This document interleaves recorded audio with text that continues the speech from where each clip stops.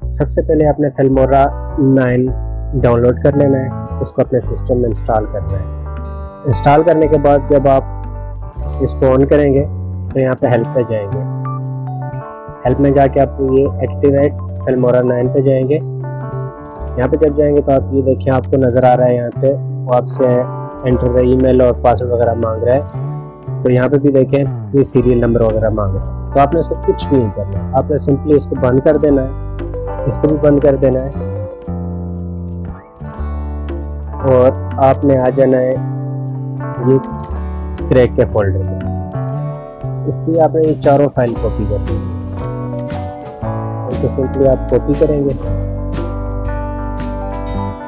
और ये फिल्मोरा का जो है इसके आपने प्रॉपर्टीज़ में जाना है।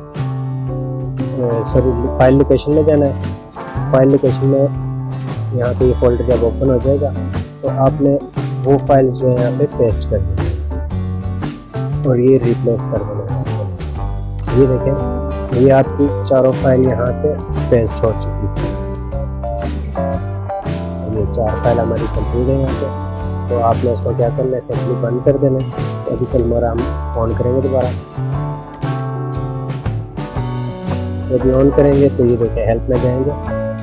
तो ये सक्सेसफुली एक्टिवेट हो चुका है। तो इसका बहुत ही सिंपल तरीका है। अगर आपको इसमें प्रॉब्लम आती है, कोई ऐसा मसला आता है तो आप मुझे कमेंट्स में बता सकते हैं। ये फ़ाइल की मैंने फिल्मोरा नाइन का और क्रेक का दोनों का मैंने लिंक दे दिया है डिस्क्रिप्शन में।